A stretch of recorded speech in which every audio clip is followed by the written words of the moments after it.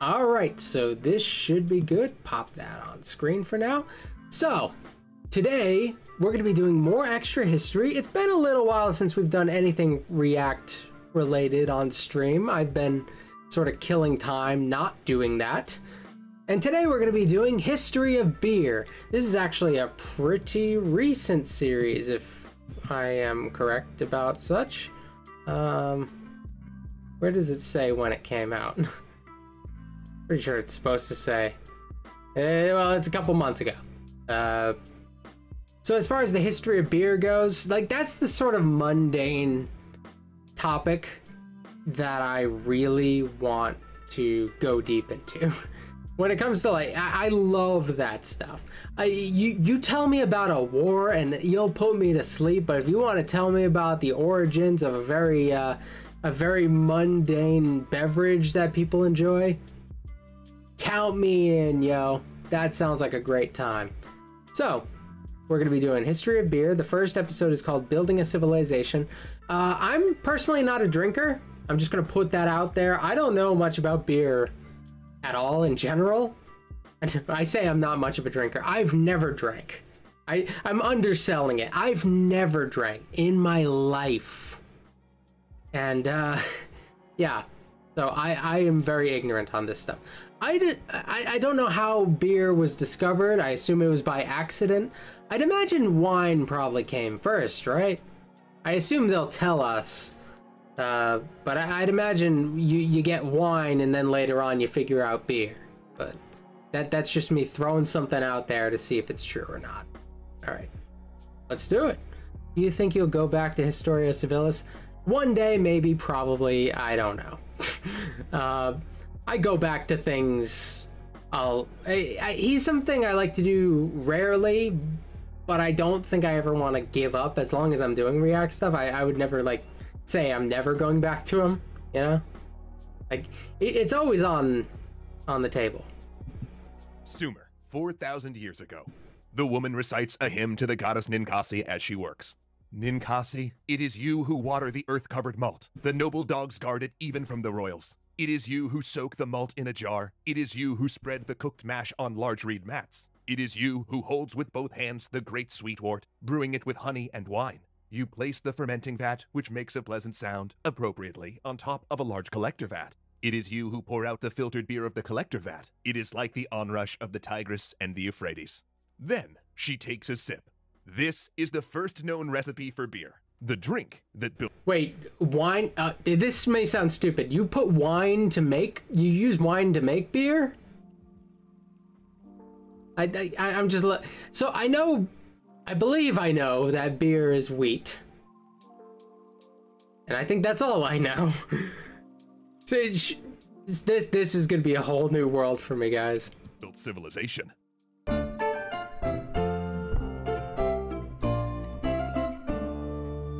Thanks so much to World Anvil for helping us draft today's historical tale.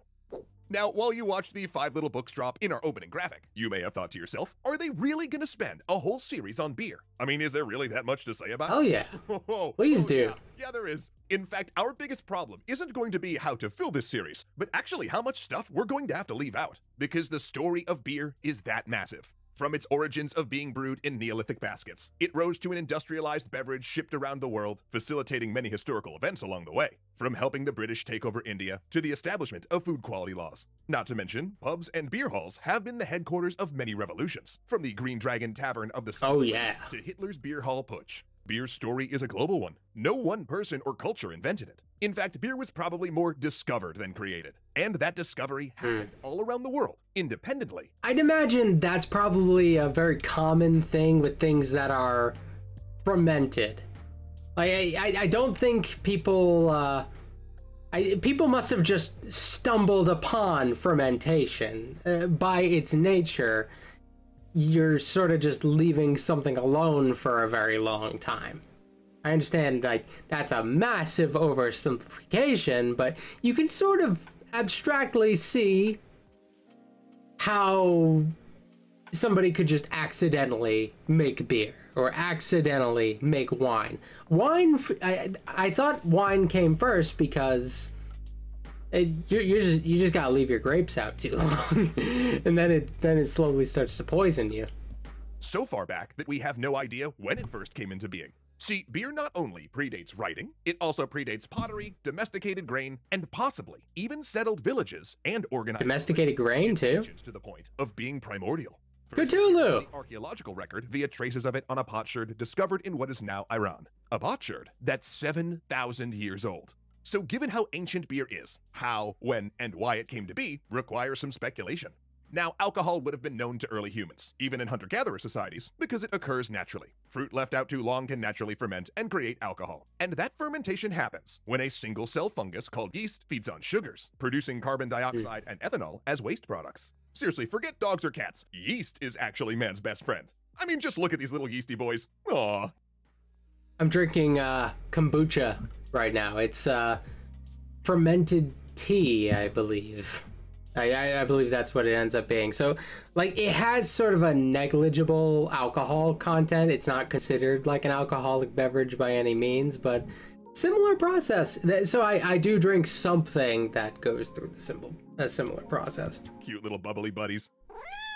Sorry, Zoe, but it's kinda true. Yes, dogs helped ancient humans with hunting and security, and cats definitely kept the rodents down, and I know you do a wonder on my taxes, but yeast eats carbohydrates and poops out alcohol, an action crucial for making both It's bread pretty and beer. interesting. Though Neolithic humans didn't understand fermentation or what alcohol was, they knew the important stuff. It was a substance that induced a state of altered consciousness and tasted pretty good. Good enough, at least, to attract elephants and monkeys, who also loved to get smashed on rotting fruit. This fermented fruit is what you know as wine, which we associate with grapes today, but has been historically made with any sweet fruit, from plums to dates, or even the sap of palm trees. Beer, by contrast, comes from fermented grain, which does not appear naturally. And to make it, you need semi settled agriculture. So, here's how one theory suggests beer came to be.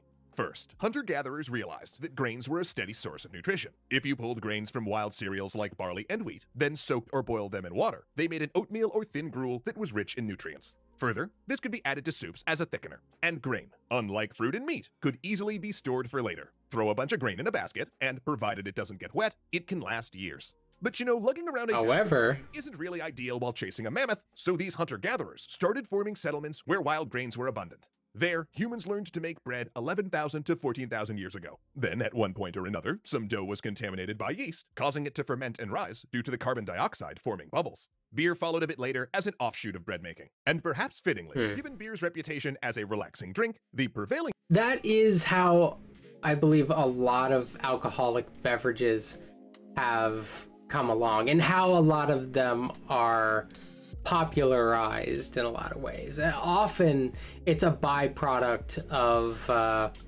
uh, sometimes it's a byproduct of abundance. I know there are. I I'm trying to think of what it was. Um, Oh, whiskey, duh. In the United States, uh, whiskey was like a byproduct of, and I know whiskey existed afterwards, but like I, I think of our, I, I learned it through learning about a American history. Uh, farmers kept, uh, was it whiskey? Yeah, it, it had to be. Oh yeah, because whiskey rebellion. there we go. That's all I needed. I need the things to click in my head. Uh, it's something you made when you had sort of an abundance and you weren't always able to get rid of everything. Uh, so you use what you grow to make some form of alcohol. theory for this culture And you have another thing. discovery involves someone being lazy. The thought goes that a grain store, maybe a basket, was left out in the rain and sprouted. Wild yeast then colonized the mixture. Is bread water. Either accidentally is true. or on purpose dropped bread into it. Then afterward, someone decided to drink the resulting fermentation and found that it made them pleasantly intoxicated, and presto, the first keg stand, metaphorically. Then it wasn't long until people were making beer on purpose. It appeared on the tabulation accounts of ancient Sumer, and a recently discovered brewery site in China is 5,000 years old. Our first recipe, quoted in this episode's introduction, comes from a hymn to the Sumerian goddess Ninkasi, praising her creation of the drink, while telling brewers how to replicate it. It was recorded 3,900 years ago, but is probably older. Yeah, beer was so important, it had its own goddess. Which makes sense, because it was a cornerstone of civilization. Humans in the Fertile Crescent increasingly took up settled agriculture in order to subsist off of bread and beer, a lifestyle that led to larger populations, permanent structures, and irrigation, aka cities. In the where did moonshine come from? Moonshine's an interesting conversation there. I I don't fully understand what moonshine is. Like I, I've sort of just taken it for granted. Um, proof. Oh, at least 80% proof. Or 80, 80 degrees? I, I don't know how they do these things. Uh, at least 40% alcohol by volume. Jeez. That sounds like a lot. there you go. These settlements, they kept grain in common storehouses overseen by priests. And one theory goes that these grain stores gradually evolved, gaining more religious functions to become the first temples. And writing was invented to catalog their contents. In fat times, the temple would collect the grain, and then in lean times, they would distribute it. And that distribution often came in the form of beer. Indeed, during the construction of the pyramids, beer was one of the main forms of payment. In fact, there's even a theory I have not tried whiskey. Um, I've never drank before at all. Um, uh, I pretended to sip wine at a wedding once because I wanted to fit in, but I didn't really. I, di- I didn't like the smell of whatever it was, and I didn't really want to. And this is before I decided like I didn't want to drink. Uh, but yeah, that's as close as I ever got pretending at a wedding. that goes. Given the ecology of the area, the wine mentioned in the Bible might have been a translation error, and what people were actually drinking was beer. In fact, it was a major selling point for living in cities. Eat bread, divide labor, ride out bad harvests, and drink beer. Heck, even in the Epic of Gilgamesh, which we have a series on and you can watch here, the wild man Enkidu is civilized and turned human by the consumption of bread and beer. Beer had Forgot about that part. complex society and I know the Epic of Gilgamesh kind of. See, the problem with cities back then is that human waste quickly poisoned nearby water sources, making Been a them while. safe to drink. But the alcohol in beer was sufficient to kill any microbes that affected humans. So beer was not just a pleasure drink, but a necessary technology for urban living. It was also a source of food, since beer back then was thicker than we think of now, more like a gruel or a Guinness. Kidding, kidding. Love my steak in a glass. Calorie dense and filling, it was one of the first things the temple gave out for famine relief. In fact, it was Hmm. so thick that there were things floating in it, and people drank it through reed straws to filter out the bigger bits. This was all So since it's yeah that that would be beneficial uh, during times where uh, at times of famine uh, you you often lean into grain because grain uh, while it's not the most nutritious thing it does make you feel full. So I guess if we're talking about bread water then yeah that that would definitely help during those times also done in a communal bowl, starting a trend that would continue until today, where beer was a drink consumed socially in common, a sign of trust. Since with everyone drinking beer from the same vessel, there was no chance of poisoning, and along with other drinks from common containers, like coffee, tea, or wine, beer became synonymous with hospitality. Also, ancient people made a range of beer, knowing that if they tinkered with the ingredients, they could get different results. From ancient Egypt, we see records discussing different types and styles of beer with different alcohol strengths. Granted, most beer people drank was short turned around batches that were only 1% alcohol by volume, but there were others left to sit longer to become stronger. Plus, there were flavor additives like honey, spices, and fruit. And though the fermentation process was a mystery, there was an understanding that some prized magical pots, called in records the pots that make the beer good, simply produced better brew even without dropping bread in. This was because yeast had permanently colonized cracks and imperfections in the pots. But to the ancient people, beer's I, I was trying to learn how to make my own kombucha. And when you when you make it, people will like reuse batches of the stuff to make more of it, which apparently makes it better. So I, there there's something there. I it, uh, apparently it works. transformation Never ended up brewing my own kombucha though. Nobody let me put uh, some. Nobody let me put a bowl of tea in their closet and just forget about it for a while. Like I don't have a space for that, unfortunately. I can't just do it on the back porch. appeared magical, especially since it created an altered state when consumed. So it's no wonder that it was used in religious rituals and associated with a range of goddesses. Oh, yeah, goddesses. Because beer was largely made in the household at the same time as baking bread for thousands of years, brewing was primarily a woman's task. But further north, in Europe, hmm. change was coming, both through the process of making and consuming beer itself, and for the women who controlled production. But until we get to that part of the story next time, please history responsibly. The next episode is called Barbarian Brew. Let's absolutely just jump right into that because that sounds interesting. Roman historian Tacitus takes a sip of wine as he I know that guy, scrolls. kind of. He's compiling an ethnographic study of the German tribes, including their drinking customs. To pass an entire day and night in drinking disgraces no one, he says to the scribe he's dictating to. I feel like I need to drink to this. it might be expected with intoxicated people, are seldom fought with mere abuse, but commonly with wounds and bloodshed. Yet it is at their feasts that they consult on the reconciliation of enemies, matrimonial alliances, choosing chiefs, and even on peace and war. For they think at Pennsylvania has so many beer laws, it's confusing. That's always interesting uh, to talk about with different people from the United States because there's a lot of different laws regarding the consumption of alcohol. eh, Well, the distribution of alcohol more throughout the United States and how it's done.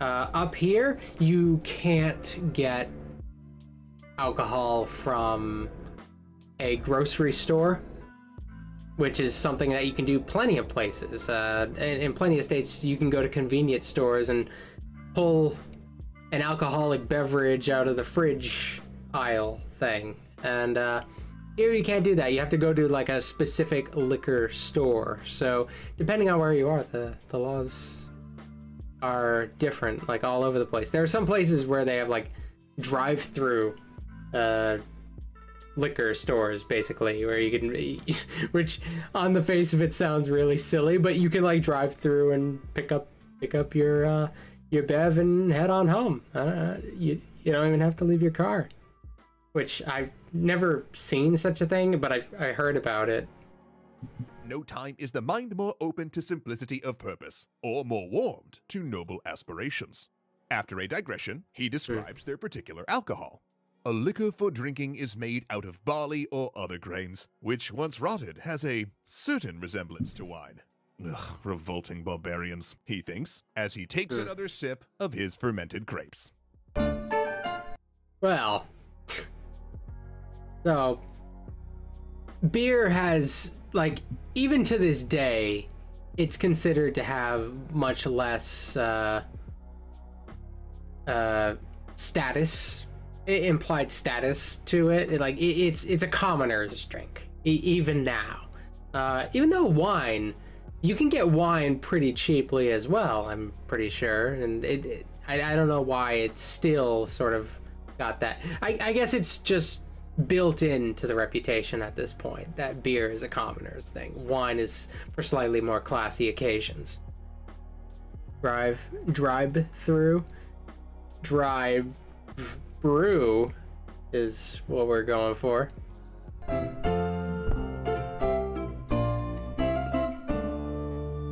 Thanks so much to HelloFresh for helping us bring this history to the table.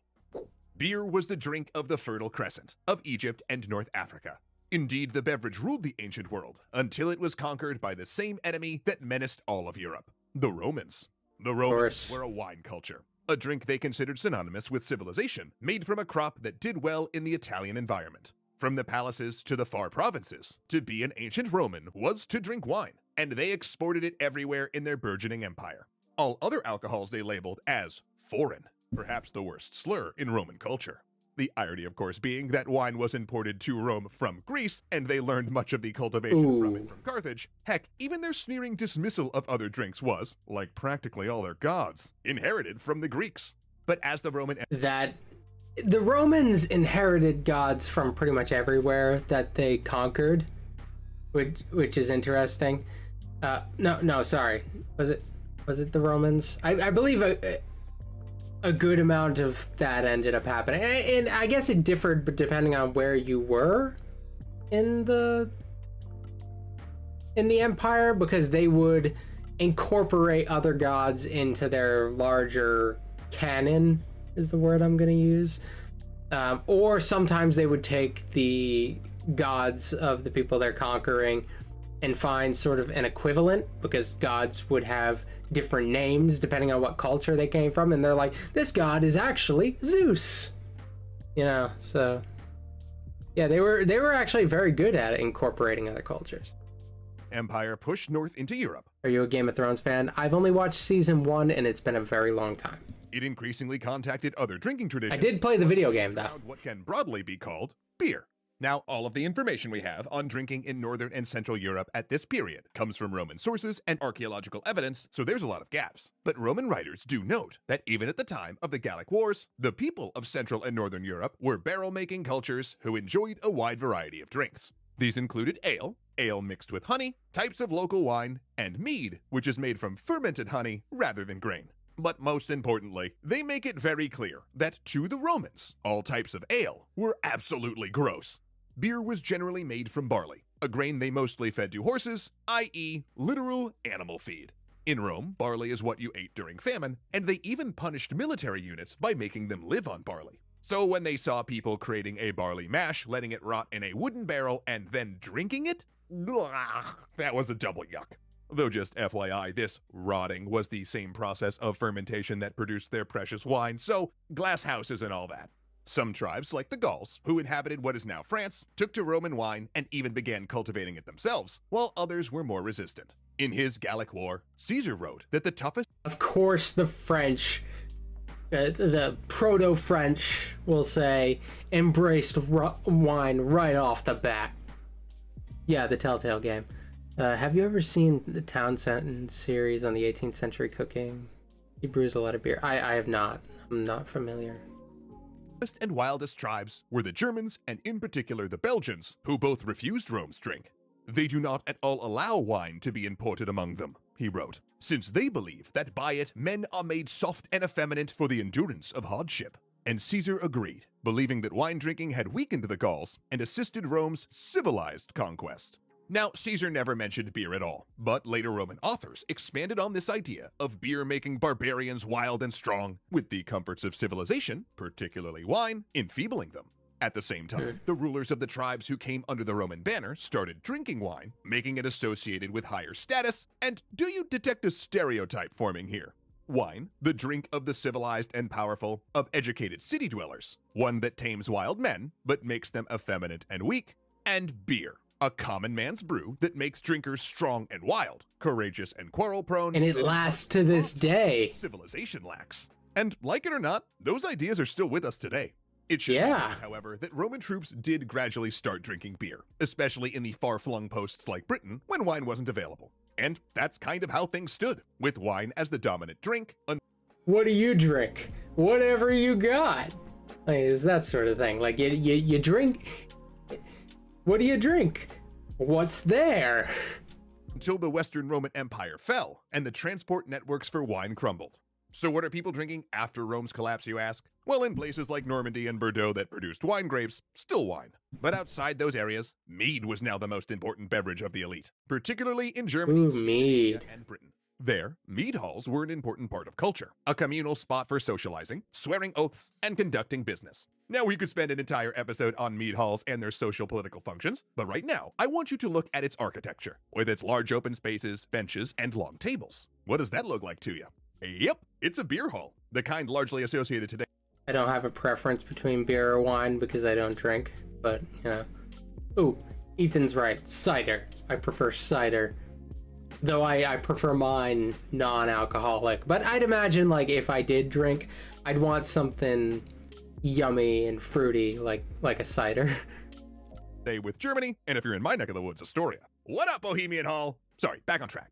Though spurned by the powerful, ale had never gone fully out of fashion with average households. It was too useful and easy to make, and Hey, Jim. the preferred. Sorry, I didn't catch you a second ago. In Germany, it held on tenaciously, and in Ireland, which the Romans decided not to mess with, beer was never interrupted at all. Now, the idea that medieval people drank beer due to water being unsafe is mostly a myth. The Middle Ages not being ancient Sumer after all, and fresh supplies of clean water were abundant even in cities. But ale was considered more pleasurable, hearty, and hospitable. A young monk spoke for most Europeans when he observed that he drank, quote, ale if I can get it, and water if I have no ale, unquote. By the year 1000, ale was also That's such a, like, hashtag casual alcoholic thing.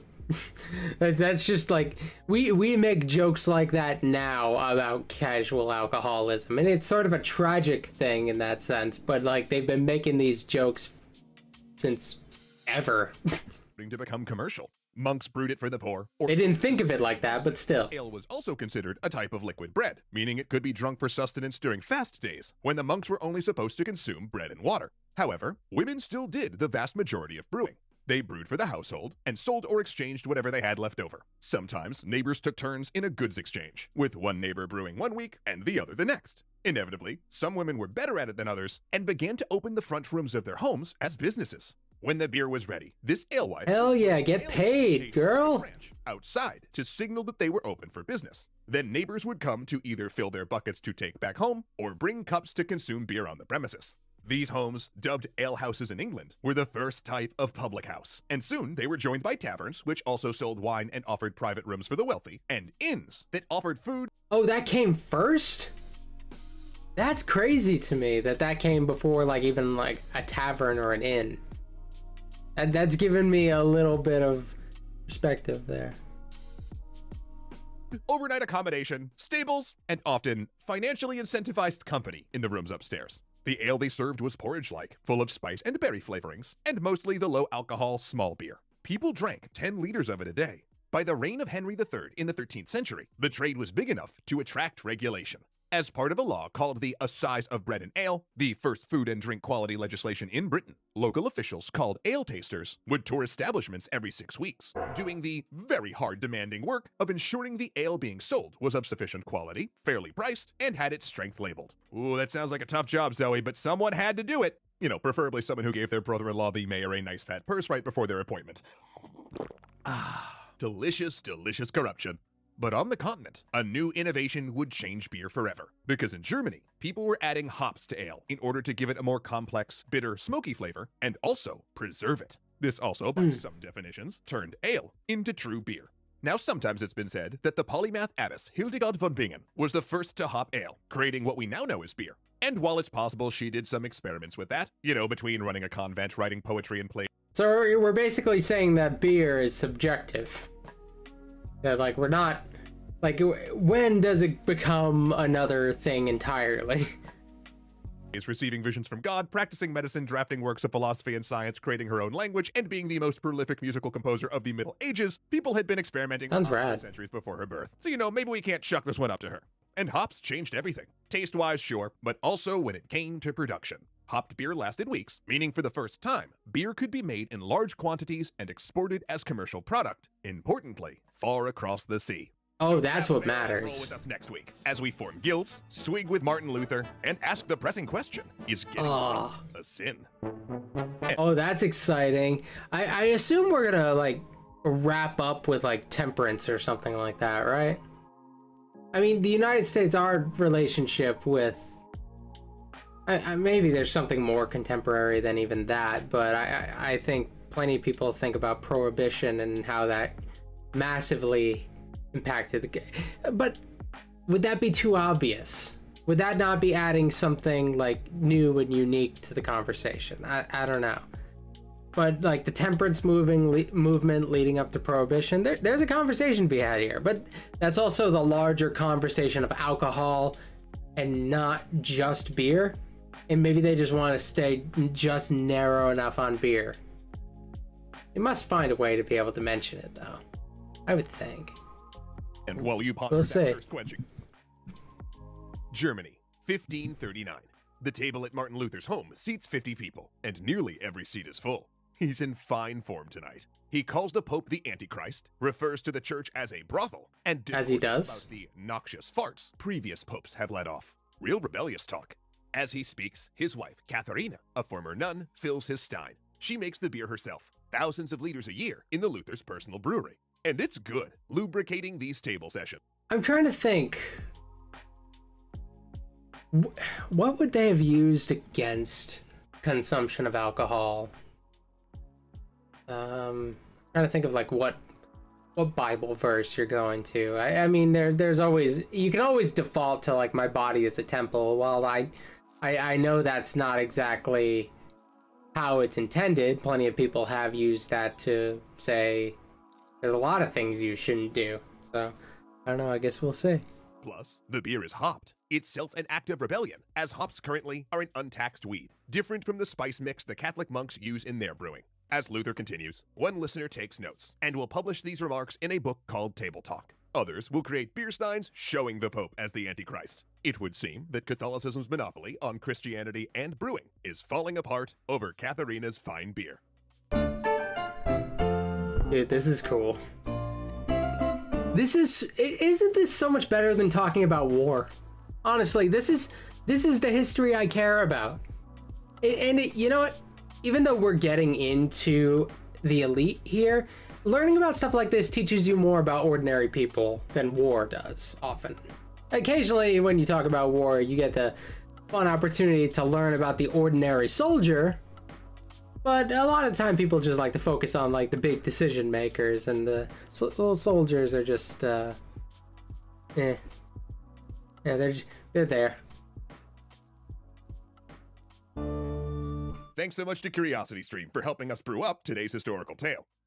When we left off, alehouses, taverns, and inns had come on the scene. And just as important, people had started hopping ale, a method that properly turned the beverage into beer, creating a more complex tasting product that could be made in larger batches without spoiling, shipped, and to a certain extent, even branded. Indeed, hops was the first true step in turning beer into a viable commercial product. And as the 14th and 15th centuries wound on, certain breweries started becoming famous for their beer, one major center of brewing was Munich, where the Augustiner Brewery, run initially by Augustinian monks, formed in 1328. Soon, they were experimenting with a new type of strong beer known as Bock. Much as France was already famous in the medieval era for its wine, Munich became known for its quality beer, a reputation they tried to protect by passing a beer purity law in 1516, declaring that the only ingredients in beer could be water, barley, and hops, yeast being considered part of the production rather than an ingredient. While this was not the first that's like a weird overstep. Like I understand.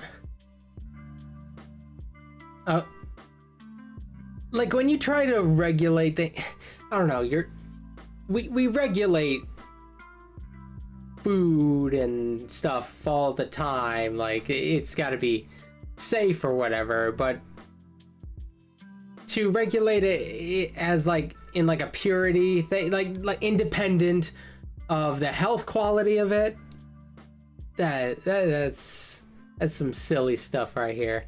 Uh, we we don't typically. I I don't think we typically think of the issues like that anymore. At least I can't think of an example, a recent example of something like that not being laughed out of the room. To be Beer quality law in the Holy Roman Empire, nor did it apply outside of Bavaria. It was a masterful exercise in branding, declaring to the European market that Munich cared about its beer. Not everyone, though, was so excited about hops. The English in particular considered hopped beer repulsive and unhealthy, a drink for foreigners, while unhopped, top fermented ale was best for them. Even Shakespeare weighed in, having his heroes drink ale, not beer. And no wonder, for his father was an official ale taster. Oh hell yeah! Becoming more common in England. By 1574, his dad had a good gig. London brewers had switched to hopped beer, leading to a competition between the two drinks. Unable to compete on longevity or its array of flavors, English ale brewers began tinkering to increase the amount of alcohol. London's beer brewers retaliated until England was awash in high proof mixes, given hyperbolic names like Dragon's Milk, and English beer became thus known as both powerful and coming in a huge variety of flavors. In fact, the English market was huge, with a large number of independent brewers. This was partially because when Henry VIII dissolved the monasteries, their brewing operations got turned over to laymen, creating a thriving professional industry large and respectable enough to form guilds. But not everyone. Oh, cool. Sorry, airplane's about to go overhead. Um, so it one could say that it's become more of a free market, I suppose, than it was before. If it was limited the the monasteries, it, it would have they would have had a monopoly over it. So now this is like, uh, and it's also taking it from groups that are considered more on the elite side. Like religious leaders are like, while they're a different kind of elite, they are a form of elite. So this is giving it back to. I don't know if it's necessarily ordinary people who would have the resources to start up this business, but back to the people in in a way. For something like seven millennia, Brewsters, female brewers, weren't just at the center of beer manufacturing, they were beer manufacturing. And provided they only sold to neighbors, it stayed that way. But when beer became a fully fledged industry, women could no longer participate. To do that, they would have to hire and manage a staff, participate in guilds, travel away from the home to ship goods, and represent the brewery and sign contracts. All things women at the time were barred from doing. Still, a few did, largely widows who showed up at guild meetings on behalf of their family until children came of age, yet that became less common over time. Women were still part of the cycle, but now they were the ones serving the beer, not making it. Meanwhile, another group was starting to worry about the effects of all this brewing the leaders of church and state. At first, their concerns were centered around taverns. In 1400, when Chaucer set his Canterbury Tales in a tavern, a I know Chaucer, could rub kind of. shoulders with a miller, nuns, a pardoner, and a wife of Bath. He was reflecting the reality of his time. Taverns were a secular space where, by tradition, class distinctions were set aside and people could speak freely. This not only made it a congregating space to rival that of churches, and clerics often complained of people being on a bench in a tavern rather than on their knees in a chapel, it also was a Yeah, that, that that's what I was saying. Like this is it's kind of uh you're you're sort of democratizing it. You're giving it back to ordinary people and, and you're taking control out of the the hands of the religious elite. That's that that's that's pretty rad. I gotta say. Like beer beer did an interesting thing here. political center. One that could be used to criticize the crown or engage in sedition, especially because, with enough beer, things just kinda slip out. Like Martin Luther at his table, or the gunpowder plot, hatched in a series of London taverns. So, Oh shoot. they weren't really off the mark on that sedition thing. But there wasn't really much they could do. Beer was a staple of life, and by Elizabeth's time, London had a public house for every 125 residents, meaning this boozy genie was well out of the bottle. Leaders also increasingly worried about drunkenness, a social ill that became more concerning as European society professionalized and became more advanced. See, here's the thing about medieval peasants they didn't do a lot. Like they had to plant one season, harvest another, keep animals, and get to church. And that was kind of it. They even had a lot of religious holidays, meaning that if some were drunk here and there, it wasn't that big an issue. But then society started developing more specialist artisan trades, ones with business dealings, where they had to fulfill contracts and be places on time, meaning being drunk became a bit more detrimental. Some of the hmm. concerns around problem drinking centered around young students I'm surprised we got three episodes in before this became an issue. I honestly thought they would have. And I, I feel like the first two episodes really didn't talk very much at all about like the social consequences of widespread drinking. So like it, it, it's actually pretty interesting. We're halfway through the series basically at this point, halfway through the third episode out of five. And we're just now talking about people being drunk and disorderly. That's kind of crazy that it took that long.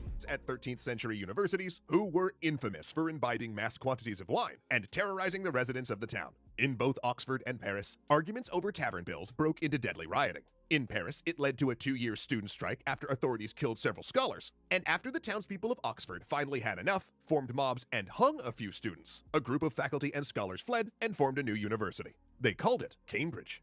However, one part of the world had already acted on this problem. In the 7th century, after a series of incidents among his followers, the Prophet Muhammad had decided to outright ban Muslims drinking alcohol. Oh, Wasn't exactly into that. Not only did Jesus drink wine in the Bible, one of his signature miracles was turning water into wine. Plus, in the Catholic Church, wine is a sacred part of communion, and lots of monasteries made money for the church and the poor by brewing. On the Protestant side, they'd been instrumental in spreading the adoption of hops. Again, a substance that was not taxed and differed from the blend of spices monks used. And while he did lament the drunkenness beer brought at times, Luther himself loved a good brew, particularly if it was made with medicinal spices to help his constipation.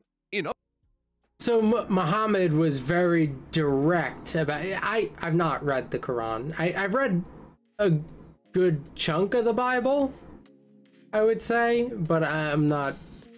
I'm only familiar with like Islam, as far as like it's come up in conversation rather than reading from source here.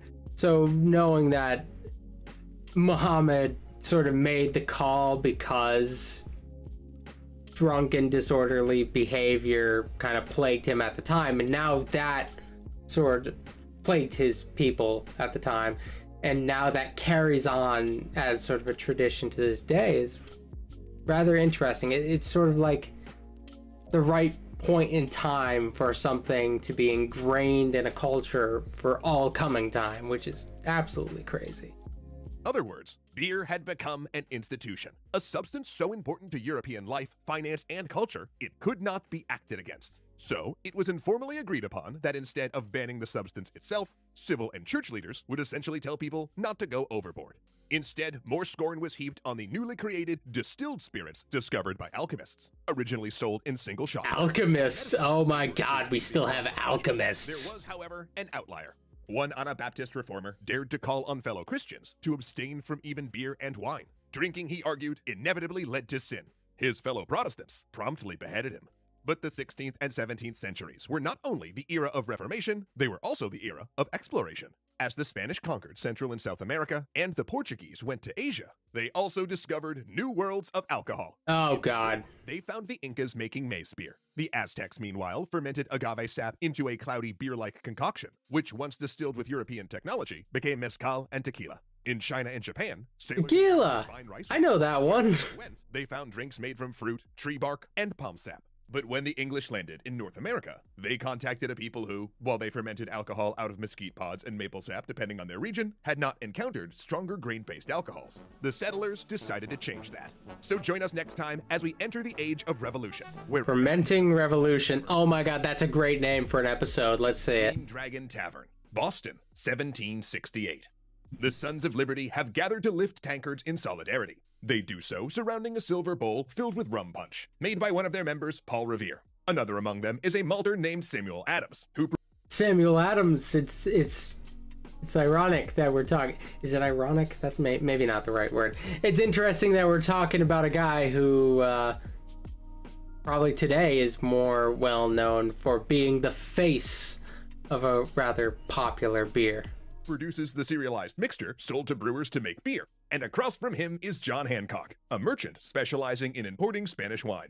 They swill American beer and rum, talking about how new British laws have impacted their lives. The Sugar Act squeezed the rum business. Trade restrictions kept the colonists from selling their products, including alcohol, abroad. And now they have to quarter British soldiers in their homes, barns, and stables, and were legally required to give them five pints of beer a day. In retaliation, Boston brewers have instituted a boycott, refusing to buy British malt. The colonies are drinking their way toward revolution. Future alcoholic beverage Samuel Adams. Man, I, I, I wish I was funny enough to phrase it like that.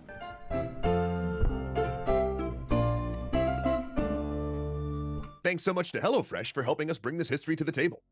By the 18th century, Europe was barreling toward revolution, and the Green Dragon Tavern was not alone as a center for dissent. During both the American and French revolutions, rebels organized themselves around taverns and other drinking establishments, and later beer halls would serve a similar role in the revolutions of 1848. But another revolution was taking place at the same time, one centered on the process of making beer. See, for most of history, beer had little competition. Apart from grape producing regions where wine was cheap enough for common people to enjoy, there just wasn't another commercial beverage that could compete with it. But now, there were tons, with the increasing global trade network bringing more options. Oh no, not beer. Ethiopia, and that you can learn more about in our history. Protect of beer. Here had made its way through Europe. Not to mention, tea had arrived on the scene from China, and Europe had even gotten a taste for the Aztec practice of drinking chocolate. But the biggest rival of beer was distilled Ooh. spirits, which began circulating in the 13th century as medicine and named with nebulous terms like strong waters or aqua vitae. And a few centuries of experimentation meant that by the 18th century, brandy And spicy water, as uh,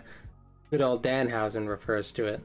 rum, gin, and whiskey were not only commercially viable products, but increasingly tasted way better than years prior. So if you wanted to get drunk, and no ifs, ands, or buts about it, the early modern Europeans most assuredly did, spirits got the job done a lot faster and at a lower cost, though with a lot more danger as well. During the gin craze of the 18th century, London started seeing a level of drunkenness it had never experienced before. People were dying of alcohol poisoning, a thing almost impossible to do with lower strength beers common at the time. Drunk Londoners were dying in gory accidents, losing their businesses, and even selling their or their children's clothes to buy gin.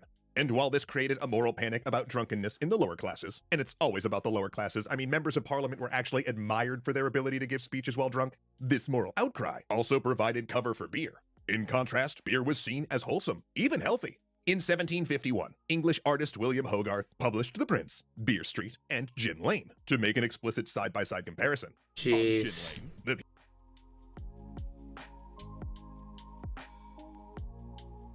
Yeah, th- this is definitely like a classist thing we've got going on here.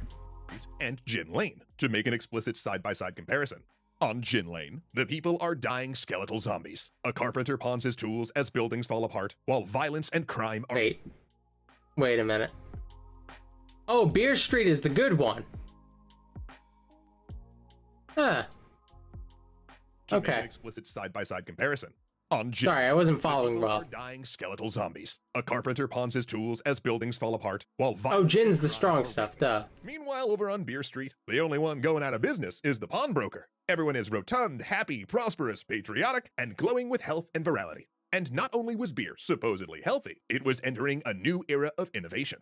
Large brewers were starting to produce it in larger volumes, and new types of beer popped up all over Europe. Crucially, these were not created using additives, but rather by innovations in the process of fermentation. In the 1760s, a new series of technologies appeared that meant beer could be produced with greater consistency and control. Steam engines made large scale factories easier to manage. Thermometers and hydrometers meant beer could be monitored for temperature and consistency while brewing. And the drum roaster, created in 1817, sealed out the smoky flavor malts acquired by roasting directly over wood, straw, or a coal concentrate called coke. Who the hell drinks malt, that, that malt liquor By the anymore? 1720s, London brewers were selling a new brew called Porter, a name that supposedly arose because it was popular among the porters that carried loads on the streets and docks. Made with a dark malt and heavily hopped, it was delicious, cheap, and lasted for months. Porter beer traveled all over Europe, but it was in Ireland where it made its biggest impact. There, breweries began making it particularly strong, or And it took us uh, three and a half episodes to mention Ireland, I believe. If this is the first mention of it. Just, just pointing this out.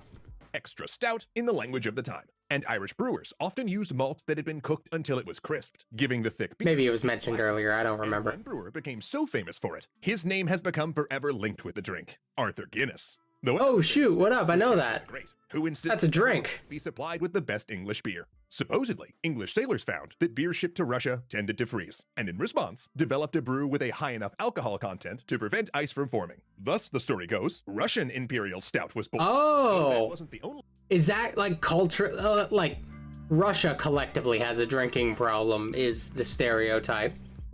Uh. So I. That's. So is is this like the beginning? Uh, Is is it just like a geographic problem that caused that to be a problem that they that carries on sort of to this day? At least I I think there's still like they they have a reputation for being heavy drinkers. They they're kind of up there with Ireland. Uh, whether or not it's like it lives up to the stereotype, I don't. Probably I don't know.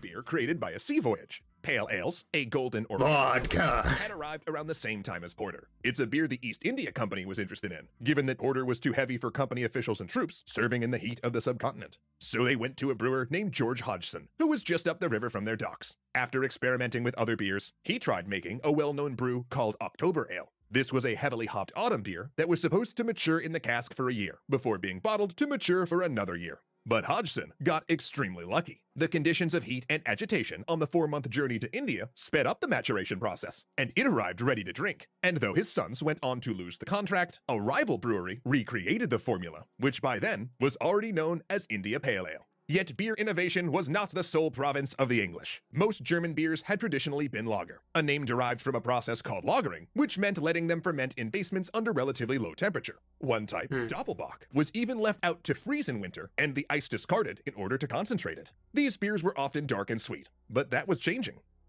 Russian men could probably increase their life expectancy a decade if not for vodka. Oh god, that that's tragic if that's true. That that is genuinely uh tragic thought. In the early 1930s, Gabriel Sedlmayr of the Spaten Brewery in Munich traveled Europe in hopes of learning how to modernize the German brewing industry. Supposedly, he even engaged in industrial espionage, stealing malt, hops, and beer samples from the British breweries and hiding them in a cane. When he returned, he adopted thermometers, installed the first brewery steam engine in Germany, and tried making a pale ale with the process of lagering, thereby inventing pale lager.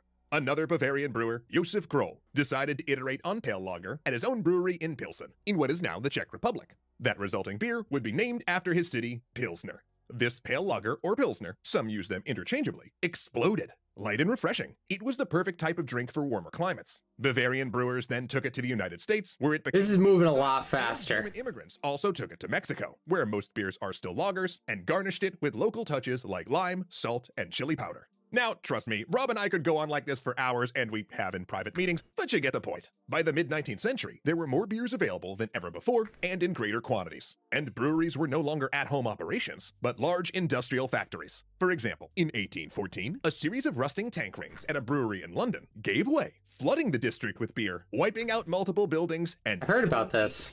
yeah, that's how much beer they were making. Enough to cause a natural disaster. But a happier thing happened a few years earlier in 1810 a wedding. On a fine October day, Crown Prince Ludwig married Princess Therese on a meadow outside Munich. They held a parade and days of horse racing, with beer, of course, present in abundance. It was so fun that they decided to do it again the next year, and the year after that, and the year after that. In fact, apart from cancellations due to wars and epidemics, it's been held every year since, both in Munich and in German communities all over the world. You probably know it as Oktoberfest, and I've been to a few. But German immigrants would carry more than drinking festivals abroad. So join us next time as humanity finally discovers yeast. The temperance movement leads to a crusade against alcohol, and a German immigrant, fresh out of the Union Army, creates the largest beer company in the world. Ah, So we're talk. So we are gonna definitely talk about temperance. I don't know if we're gonna talk about uh, prohibition, but we'll see. now sorry, before we We're definitely going into temperance. Paris, is cool. 1876. Louis Pasteur is one of the greatest scientific minds in Europe, and he's turned his attention toward two things beer The temperance movement is very interesting because it was largely led by women, which is a very interesting way in which a lot of women, for the first time, started stepping into the political sphere, at least in the United States. Uh, they really, uh, I, I use the term activated a lot of women politically.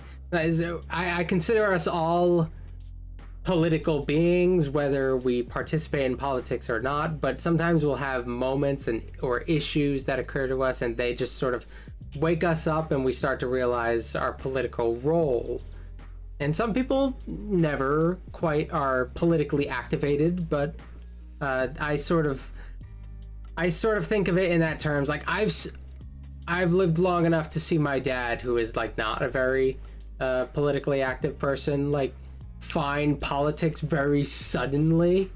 It was like oh that that activated i i, I saw him activated politically.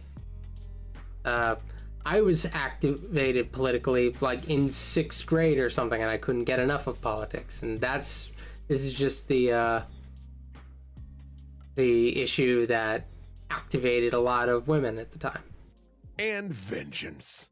16 years earlier, he'd unlocked a millennia old secret by proving that yeast, in the absence of oxygen, is what ferments sugar into alcohol. And then he thought he was done with beer until the war, the Franco Prussian War, where France lost its hops growing region of Alsace Lorraine. For French pride, for French beer, he must again delve into the secrets of brewing in order to create what he calls a beer of national revenge. What he discovers this time are these specific microorganisms that make beer spoil or go sour. And he finds Oh. that bringing it to near boiling, pasteurizing it like with milk, will kill these organisms and increase the beer's stability and shelf life. Though this discovery will not remain French, it will inaugurate a new era the age of scientific beer. beer is like such a science, isn't it? It. I, I always think of it like I think it's a lot like baking.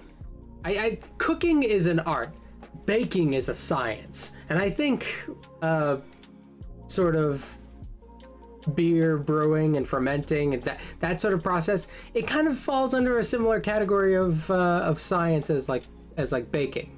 It's it's such a, a I would say a precise process and in a lot of ways varied. Thanks so much to Brilliant for helping us ferment this historic tale. When we left off, beer was going global, and industrialization was about to turn regional breweries into the massive beverage corporations we know today. Troops in British India, previously sickened in large numbers by local drinks, were now sipping on IPAs brewed in the UK. Viennese style Pilsner was being produced in IPA. the twin forces of trade and colonialism were I, I didn't really know what an IPA was. I thought that was a more recent concept because I only recently started in like the last five years or so started hearing the term IPA, but I think they just sort of became a little bit more fash fashionable again or something. It, I, I don't think it's anything extraordinary about it, but it, it was sort of a new term to me, not all that long ago in the grand scheme of things. Bringing European beer to foreign shores and founding some of the largest breweries of the modern era.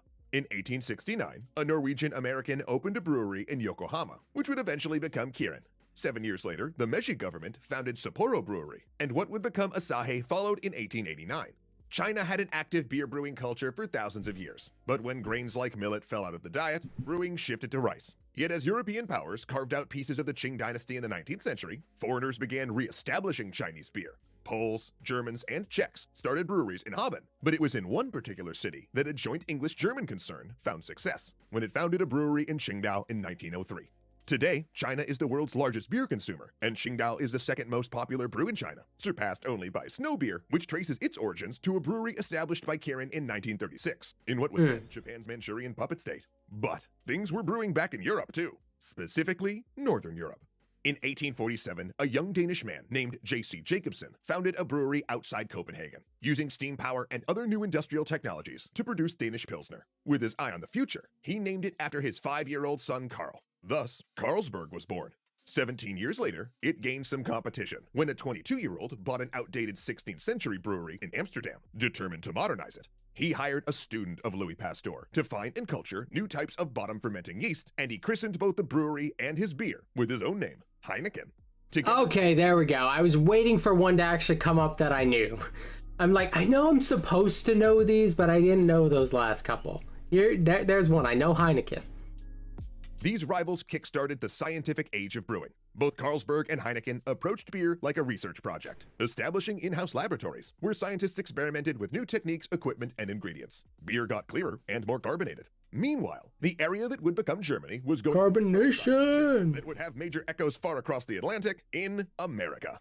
Now, we know we haven't talked much about the United States in this series. Partially, it's because for thousands of years it didn't exist. Amazing, I know. But it's also because, well, American beer was just sort of fine. Sure, it was always there, yeah. and often affecting history. For example, the Mayflower landed at Plymouth Rock because it ran out of beer, and taxes on brewers helped fund Washington's army. But America's drink was whiskey, which was made easily from barley and corn, lasted longer, was easier to transport, and had a higher exchange value with the young country's largest trade partner, Native American tribes. In fact, colonial hmm. Americans drank only a third of the beer modern Americans do, and much less than their British cousins at the time. In fact, as an apprentice in London, people always make it out like people were drinking constantly back then. So that's sort of uh, that's sort of a surprise in how much that puts things into perspective. They always make it out like they drank more beer than water. I guess today people don't drink a whole lot of water. They're usually drinking other sorts of things. Benjamin Franklin was scandalized by how much his British colleagues consumed. Until the 1840s, most U.S. beer was produced in the Northeast and consisted of English-style... Americans were kind of prude sometimes, too. Economic freedom did make for mediocre brew. While most European countries had high standards for licensing breweries and quality control legislation, none of that existed in the United States. Beer was a product, not an art. But a revolution was coming. Specifically, the revolutions of 1848, a largely failed series of liberal uprisings which convinced a whole generation of young, largely middle-class Germans to immigrate to the United States and take their brewing knowledge with them. But when they arrived, they found the older German communities on the East Coast too crowded, especially for brewing. So instead, they struck out for the newly founded cities in the Midwest, where the land was literally free, cereals and hops grew easily, and the cold winters meant ice for lagering beer was abundant. There, they founded large and expanding lager breweries and brought the German drinking culture of beer gardens, with their friendly, visible, and community-oriented intoxication, to America. In 1855, Swabian immigrant Friedrich Müller arrived in Milwaukee, Wisconsin, Müller. and purchased an existing brewery. I know I've heard a lot of people with that name. Americanized name, Miller. Oh! Schlitz arrived in the city and married a brewer's widow, taking over the business and naming it after himself. But then when the Great Fire of 1871 destroyed Chicago, torching oh. of the rival breweries, he donated beer to get the city through, earning his brew the nickname, the beer that made Milwaukee famous. And then there was Frederick Pabst, who took ownership of his father-in-law's brew. Pabst! Blue Ribbon! Okay, I, I knew this one ahead of time and decided, as a branding exercise, to tie a blue ribbon around the bottles of the yeah for his father. I know things. That's right. best beer with a blue ribbon around it. And though Pabst Blue Ribbon had never actually won any awards, well, he just never corrected anyone who assumed it had. Miller, Schlitz, and Pabst, collectively known as the Beer Barons, became hugely wealthy, building enormous mansions and funneling their money into everything from resorts to some of the country's first amusement parks. But while they Oh, shoot, they what up? also banded together. During the Civil War, when Lincoln rolled out new taxes to pay for the conflict, they convinced him that clean, well-made, and healthy German lager should pay only 60% of the taxes that other beers did, giving them a major competitive advantage. But even so, all of them were about to be usurped. Adolphus Busch exited the Civil War both as a corporal in the Union Army and newly married to the daughter of St. Louis Like, Adolphus Busch. Okay, what what did he do? I'm trying to think of I'm trying to decide what company is Adolphus Busch. Man, and I'm I'm not gonna get it. brewery owner Eberhard Anheuser. During the war, where 200,000 Germans served in the U.S. Army, Budweiser. observed the popularity of lager beer amongst the ranks. I'm guessing When he made his Budweiser. way into the Anheuser-Busch brewery, he used every modern technology he could. Oh, from Anheuser-Busch. Is that a, is that a thing in itself? That already a thing? That might be a thing. That actually does sound like it's a thing. On winter ice. I don't know beer. Year-round, to pasteurization that killed the microbes in beer, to industrial bottling machines, to refrigerated rail cars that shipped his product countrywide. Yeah, that's our that's already a thing. Never mind. branded art and For me. like ashtrays to bars, and convincing them to stock only his signature beer. A beer inspired by the brews from the Czech No! Budweiser, or as we of course know it, Budweiser. Oh, I was right. Oh shoot, what up? Oh, Anheuser Busch is like the the the the the the umbrella term, but Budweiser's the thing. Okay, yeah, I did get it. Beers in the Midwest, and America usurped Germany as the largest beer producer in the world. Anheuser-Busch was well on its way to becoming the planet's largest brewing company. Yet trouble was coming. See, for decades, concerns had been rising about America's drinking problem, and beer, which often flew under the radar, landed in the crosshairs. Because the largely white, Protestant, long established families, who tended to favor temperance, often No, they make Budweiser, but that's the company. Still, I still feel sufficiently uh, uh sufficiently correct. I I'm correct enough to be proud. I'm close enough. Let me have this, please. as immigrant drinks. The Irish with their whiskey, Italians with their wine, and especially after World War I, these German I guess what he made. gained from an empire of drunkenness. And that wave of anti-immigrant panic helped sweep prohibition into law in 1920. Ironically, though, prohibition ultimately proved good for the big breweries. See, they weathered the storm by producing soft drinks, while smaller brewers perished. And by killing the competition, it left the macro breweries in a position of dominance that's only changed in the last few decades. And that's how we got to the world we know today. How beer went from mm. something made in Neolithic baskets to a massive product shipped and consumed around the world. But before last call, let's have one final toast across time. On, Closing bathroom. time. Whether you're a beer baron, peasant alewife, One last Sumerian call for alcohol. Minuteman, Inca emperor, your Apache warrior, whiskey or beer. builder, or scientist, let's all raise a glass. Closing to the gears of human history. Beer. You don't Cheers, have to go home, but You know, you before we get can't started, I had no stay about science that goes into here. Which got me thinking maybe I should finally graduate from simply doing my own research in my own lab to taking that chemical reaction or computational biology course I've been thinking about. Since this is new, I'm gonna let the ad play out. There, there, there's a promo code on screen if anybody's interested in using this or whatever. Oh, I Overall don't know. brilliant. You know, one of the things we really love about our EC community is that a lot of us are lifelong learners. People who are super passionate about leveling up our knowledge, but also like doing it on their own schedule. Which is why we think Brilliant, the interactive learning environment focusing on science, technology, engineering, and mathematics, you know, the whole STEM set, is perfect for learning at your own pace, replacing traditional lectures with hands-on interactive lessons, complete with visual examples and a storytelling approach that is super engaging. Case in point, Jeff has been brushing up on his fundamentals, having already worked his way through some foundational computer science courses, and is about to jump into some statistics and probability. Whereas I've been really enjoying channeling my inner Mr. Spock and strengthening my analytic muscles with their multi-part courses on logic and deduction, because I want to be able to roleplay my next D&D character as more of a Holmes than a Watson, if you catch my drift. So if you're a curious I feel ya. professional I or feel experienced, you can find out more about Brilliant and buff your brain by going to brilliant.org slash extra credits and signing up for free. Ooh, and the first 200 people that go to the link will also get 20% off an annual premium subscription. Does the promo code still work? I almost certainly. It's only been a couple months. don't know what is.